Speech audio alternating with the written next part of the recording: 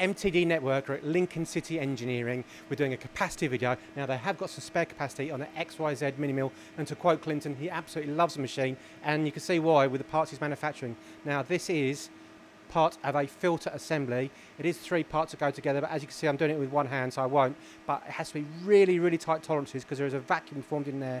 And hopefully you could pick up on the camera the surface finishing there and that's coming off the machine. So really, really impressive work there and really, really tight tolerances. So anything like that, Clinton at Lincoln City Engineering.